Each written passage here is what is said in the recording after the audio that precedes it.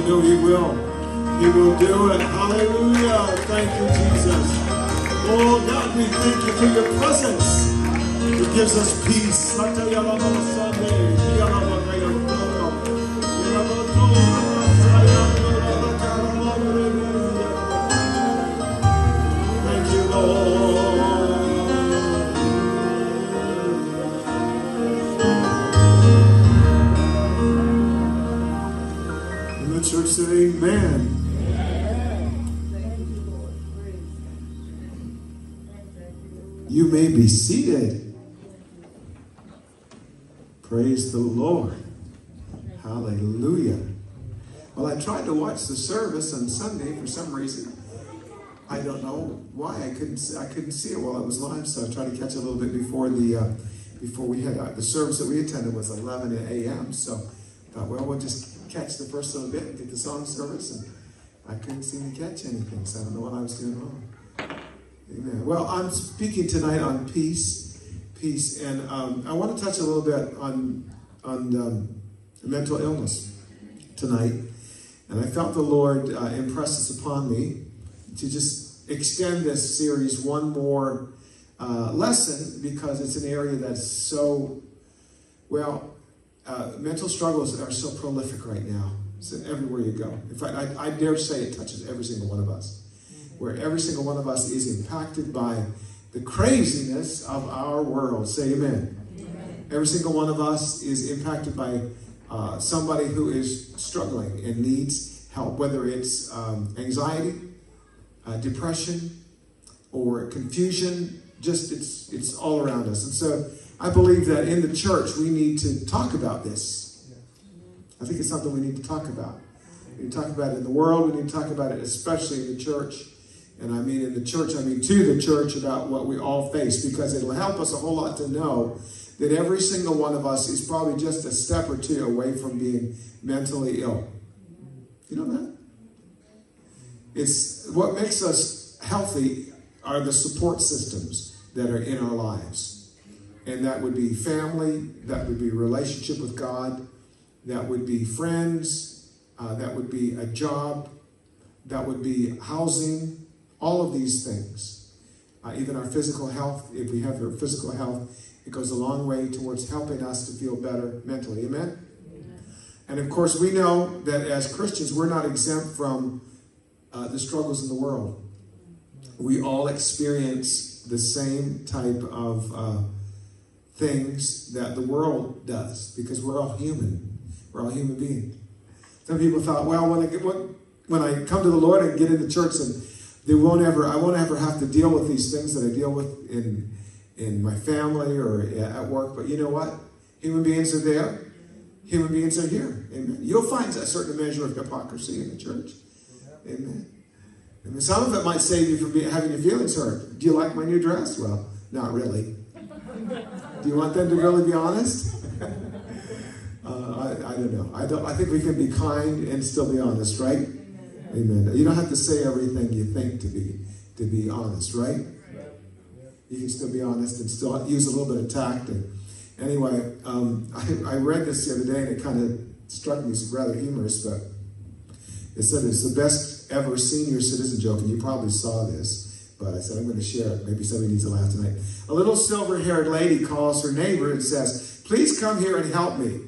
I have a killer jigsaw puzzle and I can't figure out how to get started. Her neighbor asks, uh, What is it supposed to be when it's finished? The little silver haired lady said, According to the picture on the box, it's a rooster. Her neighbor decides to go over and help her with the puzzle. She lets him in and shows him where she has the puzzle spread all over the table.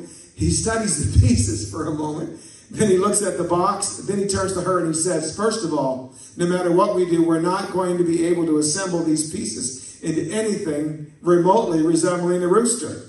He takes her hand and says, Secondly, I want you to relax. Let's have a nice cup of tea. And then he said with a deep sigh, Let's put all the cornflakes back in the box.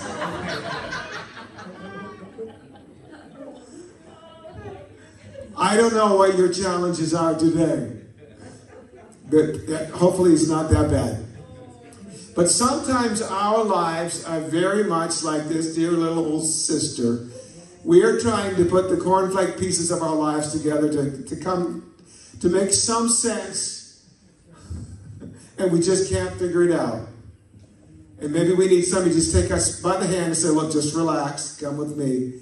and let's uh, let's not worry about that. You don't have to get it all together. Look at your neighbor and say, "You don't have to get it all together." That's the great thing about serving the Lord, is that we don't have to have it all together. We are complete in Him, who is the head of all power and principality. And if we keep our eyes on the Lord, a lot of things are going to take care of themselves. I remember a story, and I've probably shared this hundred times here, but I'll share it again because I like to repeat myself.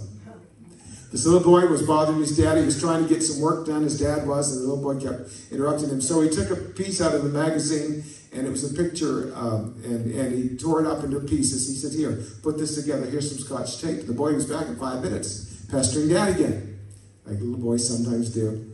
And he said, Dad, he said, he said, son, he said, how are you able to get that those pieces all back together? He said, It was simple, Dad. I noticed when he tore the picture out that on the back side of that page was a picture of a man's face. I flipped all the pieces over, and when I got the man's face all together, he said, It was it simple. And you know what? When we can keep our eyes on the Lord Jesus Christ, when He can be the center of our focus, what a wonderful thing because you're looking at the Prince of Peace. And so it's not necessary for you to solve every problem in your life or have all the answers for this one or that one, but really just to hold on to Jesus Christ. For the Bible says, holding on to Him who is the head. Hold on to the head. Because if you can hold on to Him, I'll tell you what, He's not going to fall apart. And He's going to help you hold together. Amen. Well, I want us to turn our attention to Isaiah chapter 26 and verse 2 to 4. Because believe it or not, the Bible has lots to say about our mental health and our spiritual health. And I believe that the two are really uh, intertwined. In fact, I believe that um, the times that we struggle with our mental health or our emotional health, really the root issue is our spiritual health. I love this chapter. I don't know how many times I've said that. This is one of my favorite verses, but it really is. Isaiah chapter 26. And we'll start with verse 2. That's not my favorite, though. Open ye the gates that the righteous nation which keepeth the truth may enter in. Now, here's my favorite, one of my favorites. Verse 3 of Isaiah 26. Thou wilt keep him in perfect peace, whose mind is stayed on thee or focused on thee, because he trusted in thee. Oh, what a beautiful promise. Not just peace, but perfect peace. Again, let me reiterate that the Bible is not telling us that all is well in every area because verse 4 says, Trust ye in the Lord forever, for in the Lord Jehovah is everlasting strength. When you tell somebody to trust in the Lord, what you're really telling them is that your problem's not too big for God. You're acknowledging that God is big enough for the situation, but you're also acknowledging that there is a situation. I'm not going to say trust in the Lord if everything's going well in your life. Hopefully, you're going to trust in the Lord that it will continue to be well and, and to be blessed. But the very fact that we are commanded in the scriptures to trust in the Lord indicates that we do have challenges.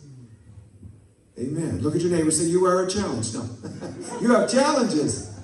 And I'm going to look at myself right here in the reflection of my iPad and say, You are a challenge, Pastor. You have challenges and you are a challenge. Amen. Every single one of us. Somebody said, I'd love to go to a church without problems. Well, there won't be any people there. Because every single one of us has a challenge. Every single one of us has an issue somewhere.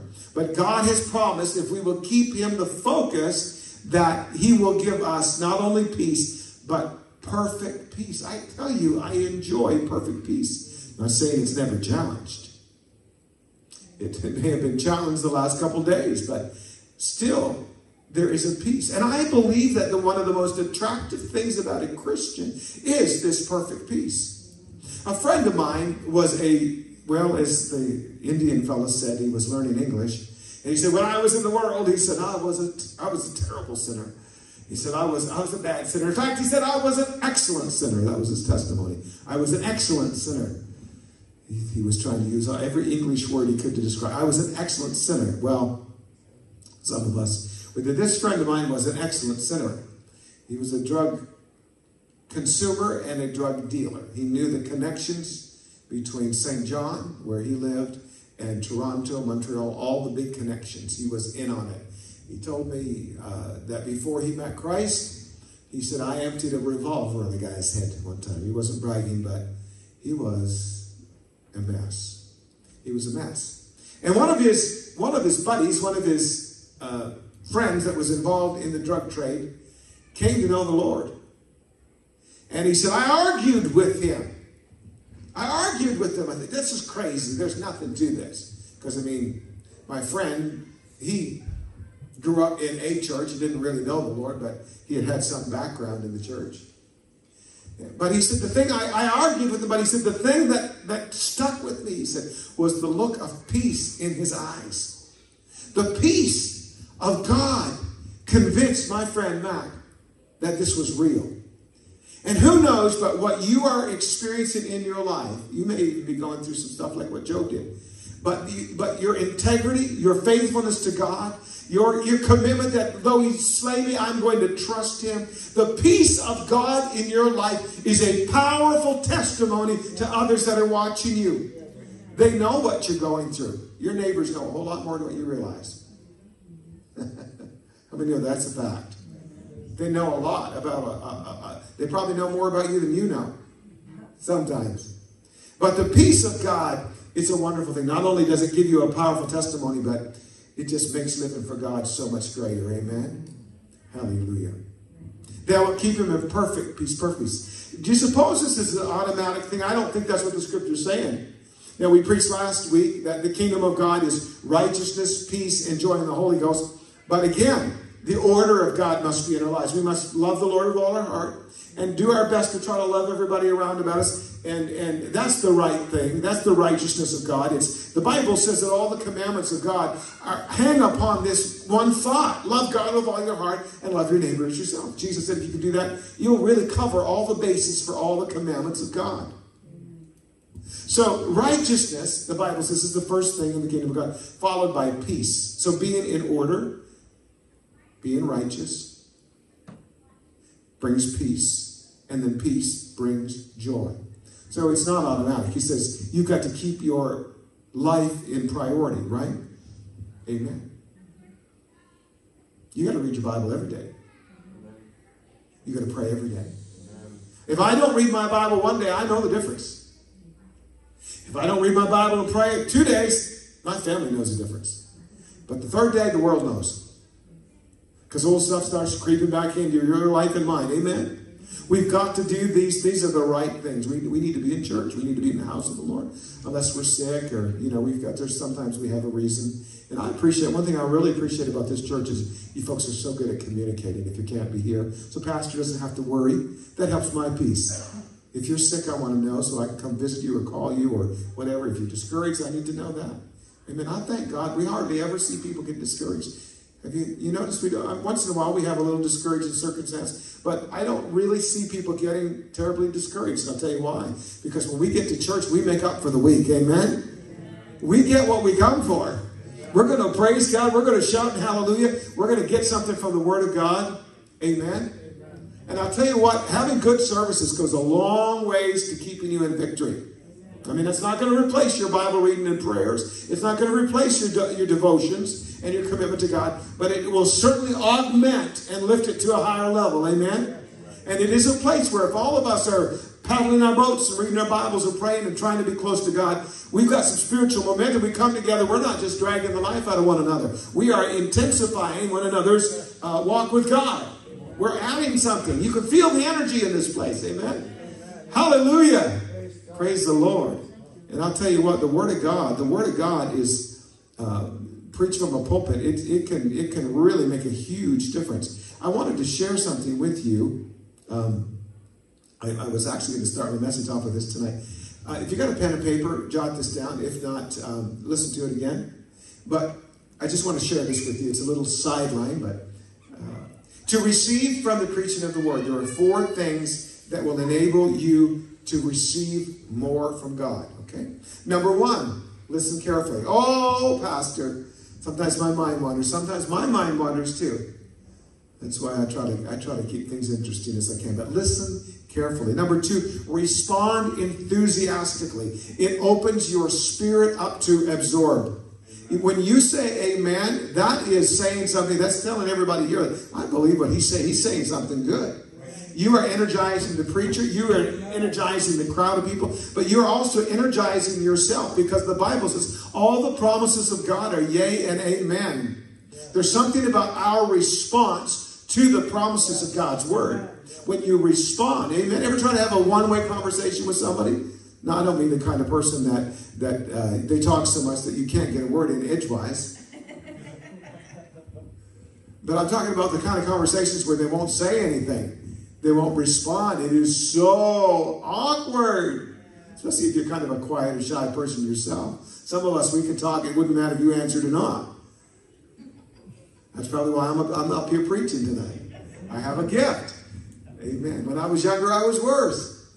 But you know, when you're talking to somebody who doesn't carry their end of the conversation, it's like, how can I get out of here? Have you ever been there? Yeah, it's like, what do I say?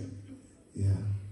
Anyway, respond enthusiastically to the Word of God. It helps you, your spiritual absorb. So, number one, listen carefully. Number two, respond enthusiastically. It opens up your spirit to absorb. Number three, take notes. All right. You say, well, I can't respond and praise the Lord. Sure, you can. You can still, Chris does it. Amen. James, say amen, brother. He's making some notes. Take notes. Oh, it's great. You'll be surprised when you read over that again. Especially you go back like a, a month or two and read some of the notes and, oh, wow, that is so good. And jot down that scripture reference. Amen. Just review. And number four, review and apply. Reread your notes or rewatch the video if you've got a computer. Uh, pray that God will help you to apply it to your life so that you will be changed, even if it's just a little change that you're bringing about in your life. Amen? Yes. So let's see if we, how much we remember. Let's see how well you listen. Number one. Number two. All right. Number three. Number four. Review and apply. You can, sure you can. You, you've already written it down. All right. Very good. All right. And you just never know. Like, I'll tell you, it's, it's great. My wife likes to take notes as well. And uh, I don't know if she does still or, or not. Or maybe she hears enough of me through the week she doesn't have to. maybe she knows what I'm going to say. But, uh, you know, sometimes to go back through the old notes and think, oh, wow, that was so good. And how many know that that can encourage you? Yes. Yes. And God will cause you just, your eyes to fall upon that which you need. Amen? Yeah. All right. Now, let's look in our Bibles to Romans chapter 12, verse 1 and 2. Another really familiar passage of Scripture, and it ties into peace. But it starts off with um, uh, making your body a living sacrifice. Romans 12 and 1. I beseech you, therefore, brethren, by the mercies of God, that you present your bodies a living sacrifice, holy, acceptable unto God, which is a reasonable service. That's something we do every day. God, I give you my mind, I give you my body, I give you my heart. Uh, just fill me, flow through me, guide me, direct me. How many know that you don't have to be hit by a thunderbolt to be directed by the Lord? I have the Lord just nudge me, little things here and there, and I'm beginning to become aware that uh, it's not just my memory prompting me, but it's God prompting my memory. Yes. Yes. That God actually is you know, I, I couldn't tell you the, the, many, many times that God has spoken to me uh, and encouraged me to do something afterwards. I thought, wow, the timing of that. What's the chance that I would have thought this up? I didn't know what was going to happen following that, but I'm telling you, God is guiding you and directing you. But the scripture tells us in Job, and I can't remember where the passage is, but basically, God will open up your mind when you're sleeping and He'll put a thought in there. If you ever said, Well, I'll sleep on it? Well, that's what the scripture says. Sleep on it. Don't worry about it. So say, all right, God, I prayed about it. I give it to you. And just show me what I'm to do. And maybe I'll wake up in the morning. God will give me. I'm telling you, God does it to me all the time. Most of my really good messages come in the middle of the night or the morning. God will wake me up and I just grab my phone and I start making notes. My wife's like, What are you doing? I got a message from the Lord.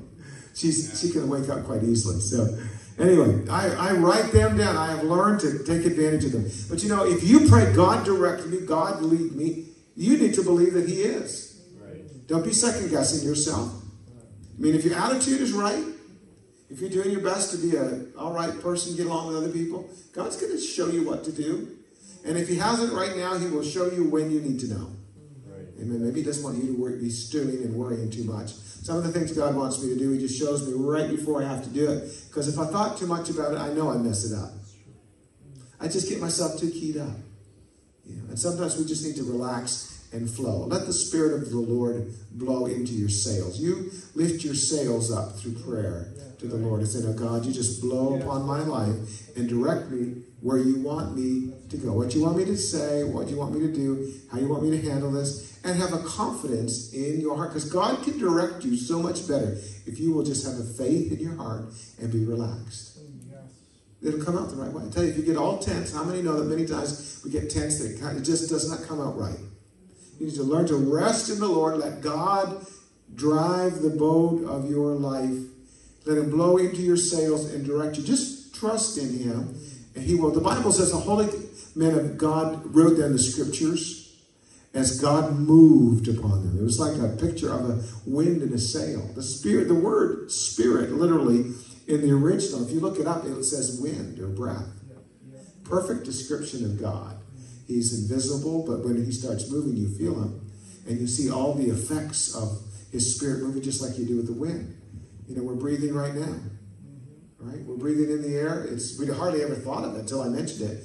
But we were taking in the essence of the air. Well, God is moving upon your life. And so He's blowing into your sails. He's directing you. You're not here by you don't make as many decisions as you think you do. God's guiding your life. Yes, you make decisions. Yes, you do have a responsibility to make good decisions. I'm not saying that, but what I'm telling you is that many times God is directing us and we don't even realize it. And that should bring you peace. You give yourself as a living sacrifice. Uh, the Bible says that He will direct you. He will He will help you prove what is the perfect will of God. If you'll give yourself to Him, if you'll commit yourself, God says, "I'll do the directing." You just present yourself. You do the presenting. I'll do the directing. All right, listen. Be not conformed to this world. Don't let the world squeeze you into its mold. Don't be conformed to this world, but be transformed now by the renewing of your mind. Let God renew your mind. I mean, if you get a thought and it's not, it's not right, uh, it doesn't have to be a bad thought, but just be a wrong thought. Maybe, maybe you feel upset about something, and God says, you know what? It's not really worth it for you to get upset. God says, let me renew your mind. Think about the good things I'm doing. I'll tell you what, let God renew your mind, and that you may prove what is that good and acceptable and perfect will of God. And nothing will give you peace like knowing that you are in the will of God. So, how do I know when I'm in the will of God? Well, just get out of the will of God, and you'll find out. Have you been out of the will of God before? the Bible says, let the peace of God rule in your hearts. The peace of God is probably the most powerful indicator that we are in the will of God. Jesus was in the boat, the storm was blowing all around. Jesus steps to the bow of the ship, I'm assuming, and he says, Peace, be still. And there is peace. There was a storm, but he brings the peace. They were in the will of God. The peace will come. If you're not feeling it tonight, you pray. Say, God, I want to experience your perfect peace.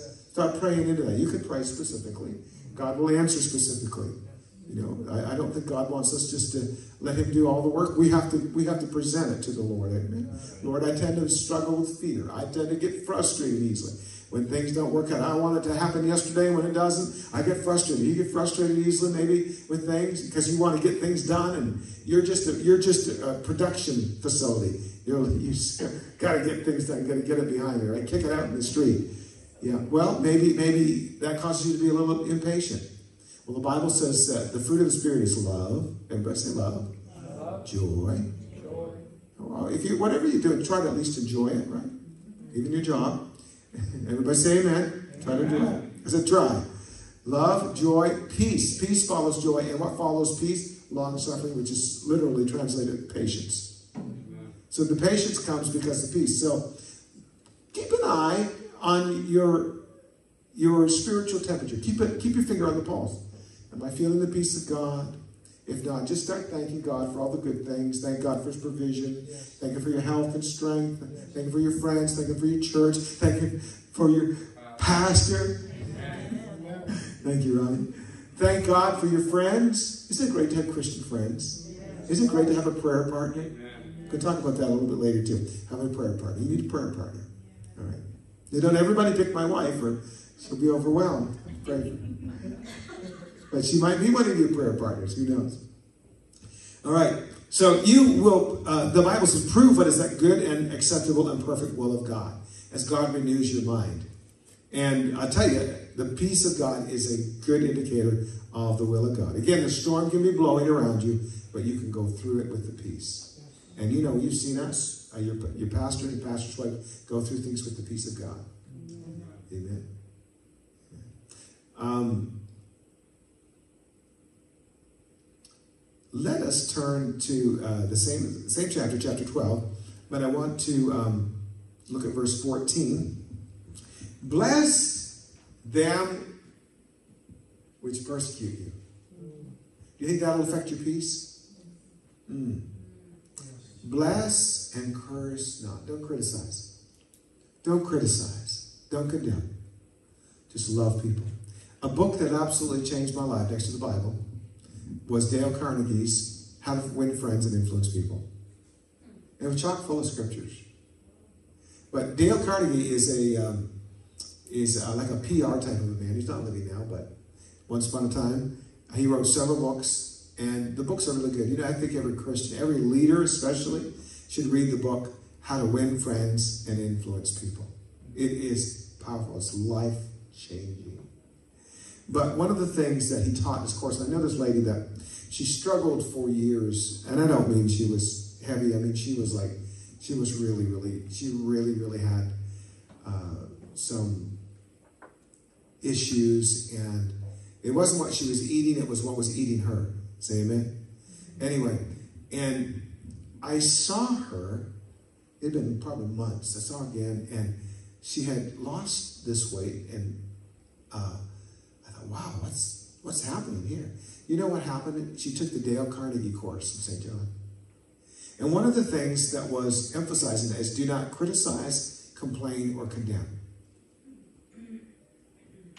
And she started practicing those three things, and her whole life was transformed. Not only that, she was in her 30s, and God, you know, she wanted to be married, wanted to have a husband. And you know what happened is the best looking guy in the church married her. I'm talking like a movie star. Greatest personality. I'm telling you, but I don't think any of that would have ever happened had she not had the transformation of the inside and come to a place of peace with herself and with the Lord. Amen. How many know that when we're happy inside, it affects everything? It also creates a magnet that draws happiness into your life. And so you create, uh, your relationship with the Lord creates an energy that you exude that literally opens up opportunities and brings relationships to come to pass in your life. Amen? It's true. They don't criticize. If you get if you get criticized, I remember this this young lady at, at, at Bible college, lot of the girls were jealous of her. She came from a family of singers, and I, I guess I guess they meant this as a real insult to her. But she had really skinny legs. I don't know if you should talk about this from the pulpit, but anyway, she was a friend of mine, and she said, you know, some girls will say to me, "Your legs are so skinny," and um, uh, her mother taught her. She said just tell them, well, thank you very much. They meant it in criticism, but she learned how to respond in a way that deflected the criticism and took it as a compliment. Well, thank you very much. And that stuck with me because I thought, what, what a great way to diffuse your critic. It's just a thank, thank, thank you for that. I hope that I can improve, you know, in that area. I hope that I can, you know, because I want to be a better Christian. You know, and I thank you for the courage it took to, you know, you will just totally knock the wind out of their sails. Amen. How many know that you can diffuse a situation? You really can. Or you can be like a spark to the gasoline, too. Yeah, you could be a spark to the gasoline. And I don't know who's to blame in that situation, the gasoline or the spark. But an explosion requires both. So really, I mean, I suppose we think, well, the spark is just one little spark, but that's all it takes. Amen. And you and I can diffuse situations. Amen. Can I just share something from my life? I'm a very positive individual. I think I'm pretty embracing. I accept people. Like, but when I was younger, I, I had some baggage I carried around. And one time, one time, there was something my wife said, and I got offended by it. My, and her sister was there, my sister-in-law, and um, very, very nice person, very, very kind and diplomatic person. But she told me, she said, you tend to take things the wrong way. You know, the problem was, was not what my wife was saying. It was not that she lacked sensitivity. It's that I was overly sensitive. And, and, and because I was insecure, I was taking it the wrong way. You know, sometimes it's not the other person being critical. Maybe it's just how we respond to it. Well, it kind of hurt my feelings, but it's definitely made an impression upon me. Obviously, it helped me because I've really, really changed. And I worked on trying not to be super sensitive. You may be married to somebody that's super sensitive. You may be, you may be the super sensitive one yourself. It may be, you know, God blesses us with sensitivity. I don't think that that's a curse to be super sensitive. I think it can be a very positive thing as long as it's not all wrapped up in me or it's not all wrapped up in you. If we if we turn our sensitivity outward and use it to help other people instead of being overly sensitive. Amen. Yes.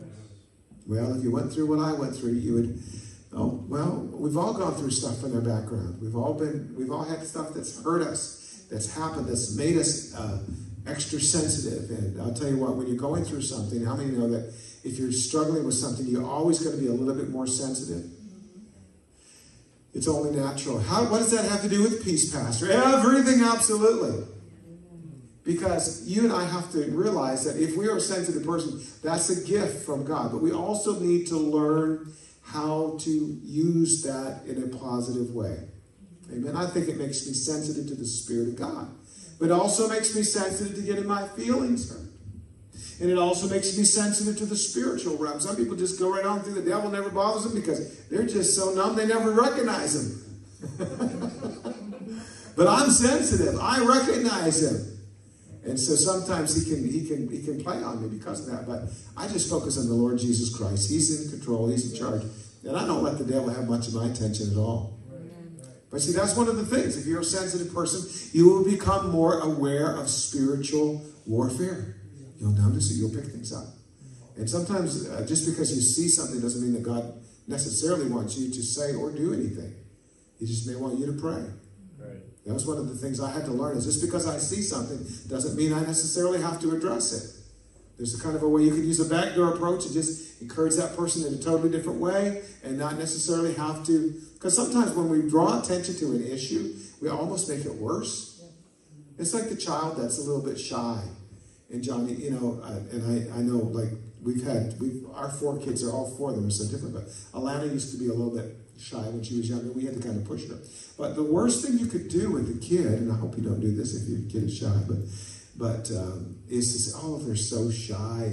Because what you're doing is you're impressing that upon their mind that they're shy. It is helping to create their image. So what we tried to do was never use that word, but just kind of push them a little bit. Say, you can do it. You can do it. And give them opportunities to build their confidence, right? Amen? Hallelujah. Is this, will this help anybody here tonight? Amen. Amen. All right, let's get back to the scriptures here. I'm definitely down a bunny trail here. Ten minutes to go. All right. Rejoice with them that do rejoice, and weep with them that weep. Be of the same mind one toward another. Just treat everybody with no partiality. Mind not high things, but condescend to men of low estate. You know what I really respect in a person, especially a great leader, is when I see them taking time for those who are quite often overlooked. If there's anything that will win my respect in a person, in a human being, but especially in a leader, is when they take the time for the little people. like the little senior who's losing the memory, or the little person, the person who just doesn't fit in because some people think they're odd, but really they're just unique. They're special, and we're all special. But when we take that time and we show special concern or love, and that person in the youth group that doesn't quite fit in, when you go and you include them, say, hey, come sit with us. I'm telling you something, you are great in God's eyes.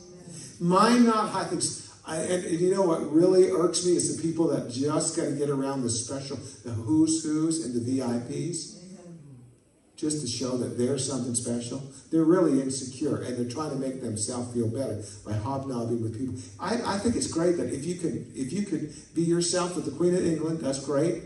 Doctors, lawyers in town. I'm not embarrassed. I'm not I'm not uncomfortable around anybody. I don't care if a movie star walked in here or a politician. Uh, they just need to be treated like a human being and given the same respect that you all deserve. Amen. They're no more special to me than anybody else. In fact, you know, one of the things I, I maybe it wasn't wise of me, but when I first took the church as your pastor, came here, one of the things I, I was always aware of the numbers, attendance, and the offerings in general because I wanted to know that we were growing, numerically growing, financially growing, spiritually, and you could measure some things. It does tell a lot about morale. Uh, but one of the things I never did was check to see how much people were giving because I didn't want to know who was the biggest tithe payer and who wasn't. In fact, I found out that there's some that don't, don't support the church. And I don't know that there's anybody here. I don't know. Again, it's not something I look at very often, but sometimes I have to. Okay? But um, I want to treat you all the same. Because Jesus said the little widow that cast in the two pence cast in more than all those rich folk that went on before. Because she was faithful and gave she probably gave above what she needed to give. And what I've found is that sometimes the people that are the most faithful are those, um, but everybody here has been, been, I think our church is commendable in faithfulness. So I'm not saying that with any ulterior motive at all. I just appreciate that our church is faithful to the Lord. And I know if we're faithful to the Lord, we're going to go in the rapture. Amen? Because those that the, the armies of heaven that follow Jesus are the called, the chosen, and the faithful, right? So If you're going to, if you're going to go to heaven, you've got to be faithful. Amen. And, and I tell you, we need to teach our children from the time they're young. You need to be in the house of the Lord. You need to give your talent to the Lord. And you need to give of your treasure. That 10% belongs to God. It never was yours. It belongs to God. Amen. And if, if, if I do that, then I'll teach my children to do that. Amen. And, uh, and that's very important. But if you don't do it, you'll never pass it on to your children. And if you look back, it's probably a generational thing of not being faithful. Amen. But people that are faithful tend to tend to uh, reproduce people that are faithful. Those that we influence, those that are uh, that we bring into this world are going to be the offspring of us, not just physically but spiritually. Amen. So be faithful, you know, and, and check and make sure that in all the areas that you've got the boxes ticked off, amen. Not to tick off the boxes, but you're just showing your love for God, amen. Praise the Lord. And I do appreciate the faithfulness of God's people. That'll go a long ways to giving you peace. Well, God, I've got a financial need, but you know, Lord, I've always put you first. God, this is your problem. You're going to take care of it. How many know that God will take care of it? Amen. You get a little surprise in the mailbox. Amen. Because you've been faithful to God. I'll tell you what, make him number one. Yeah, be a man of God, be a woman of God. And you're never too young. You can start at eight years old when you mow lawns, being faithful to the Lord. That will bring the peace of God. Um, treat one another with respect in the church. I don't care how they treat you. You treat them with respect. People are going to find out for sure. You know what? Other people, let other people take care of things. I've found that other people can do a much better job. You just trust in the Lord. Amen? Amen. Recompense to no man evil for evil. This is good preaching tonight, isn't it? Not because I'm doing it. Provide things honest in the sight of all men. If it be possible, look at verse 18, if it be possible, as much as lieth in you, live peaceably with all men.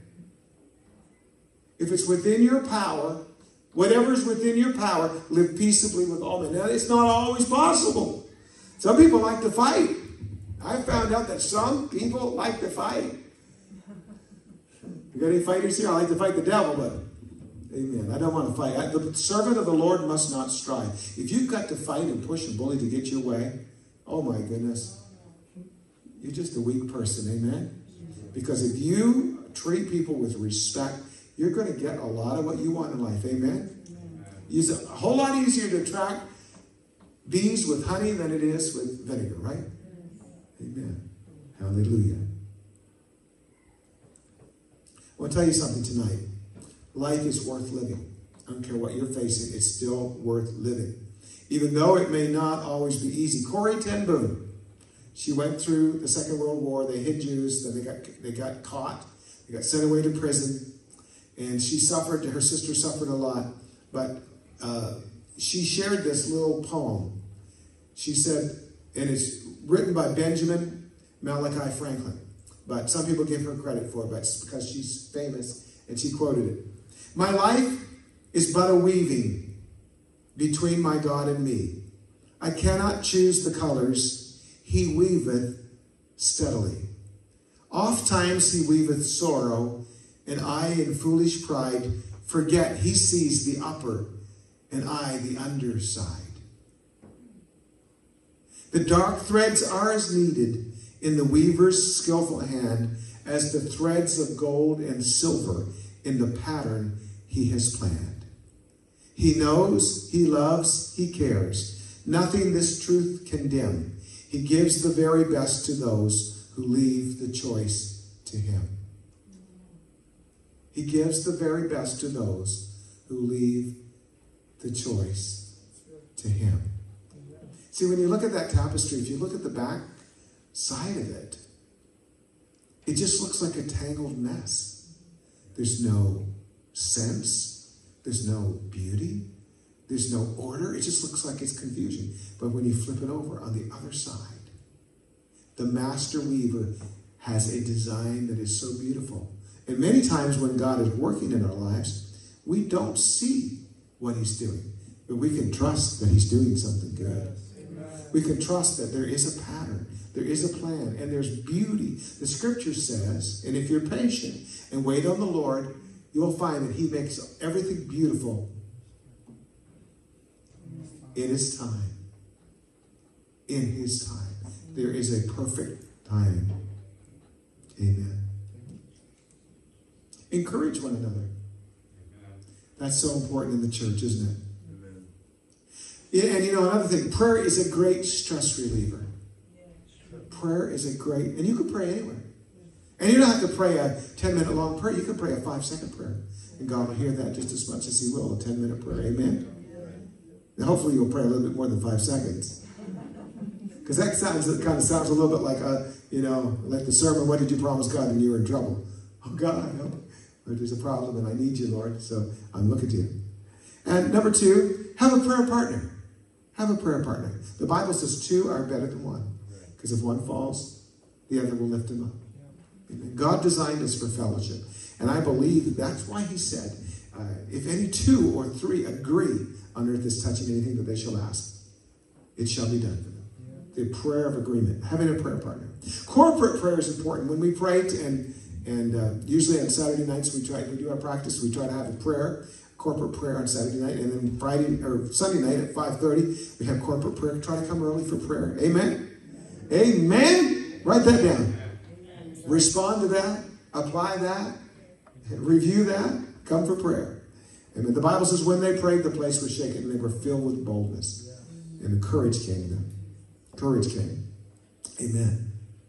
I just read this. I want to share the story in closing. Uh, this is Brother Fred Child. Uh, he's a pastor in our organization. And he said that his pastor, Marvin Cole, said, years ago, my pastor, Marvin Cole in Beaumont, I think that's Beaumont, Texas, was visited by some rich looking men. Uh, they said he was chosen. They said he knew, they said they knew that he could reach many. They offered to build him the biggest facility on the best property in town, full media, everything free. He would never want for finances. No limit on funds. He could grow as big as he wanted to. They said he could preach his gospel, but also he had to let others come, even if they didn't fully embrace one God, Jesus' name, and the essentiality of the Holy Ghost. He refused. In fact, he rebuked them and they left angry, saying, You don't know what you have turned down. You should have accepted our offer. Within a week a hired assassin got into the passenger side of this pastor's car and pointed a pistol at him. And he said, Before I kill you, I am to tell you, you should have accepted their offer. Brother Cole said, Jesus. And the man's hand began to shake. He could not squeeze the trigger. He tried, but his finger could not squeeze. Brother Cole began to rebuke him, and the man fled in terror. I want to tell you something. You've got a pretty big God on your side. And if anybody messes with you, they're messing with Jesus. And I want to tell you something that God's going to take care of his own. I'm not saying he'll never let us be persecuted. I'm not saying he'll never uh, let some of us die for the name of Jesus because that's happened all through the centuries of time. But I want to tell you something. If God's not through with you, the devil can't kill you. Amen. And I believe that God is getting ready to pour his spirit out upon this church, upon this county, upon our district in a way which we've never seen before that will eclipse the olden days. And there will be God's power and God's confidence the people of God will be confident and we will have tremendous peace. The Bible says, Isaiah 32, 15 and 17, let's stand together.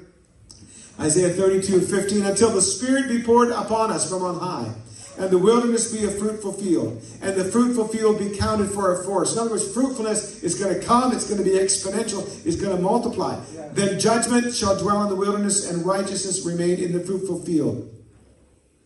And the work of righteousness shall be peace. And the effect of righteousness, quietness, and assurance forever. God pours out His Spirit. God brings things into order. God begins to bless. Fruitfulness takes over.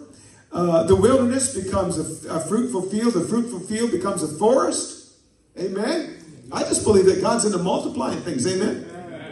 I don't think we've got the be all and the end all. I think we're just scratching the surface. We're just beginning to see what God is going to do. Amen. God's pouring it out. And God's to line our lives up. I'm not saying you're not going to change. You're going to change. I'm going to change. The work of righteousness and the result of God changing us is going to bring about peace and the effect of righteousness, quietness, and assurance forever. Listen, I don't think that Jesus is going to come back for a church that's shaking in her boots. I believe we're going to be a bold, aggressive, spiritually assertive church.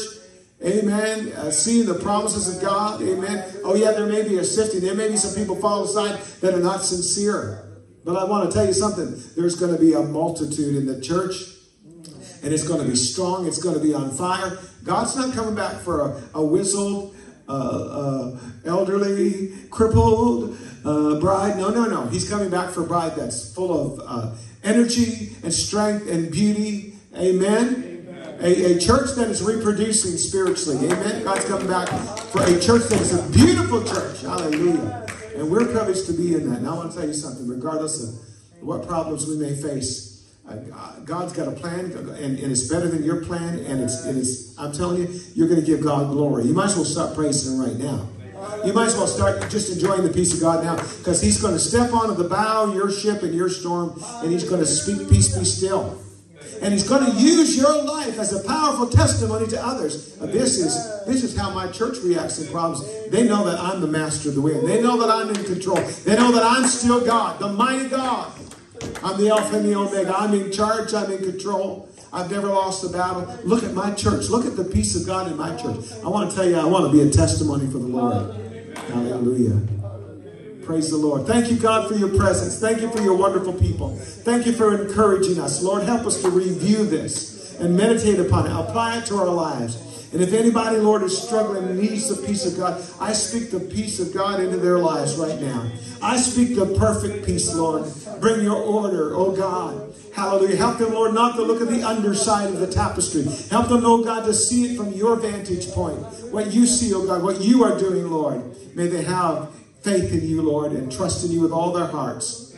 Hallelujah. For in you, Lord, is everlasting strength, and in you is perfect peace. Let our eyes be fixed and focused on you, Lord, in Jesus' name. Everybody said, Amen. God bless you tonight.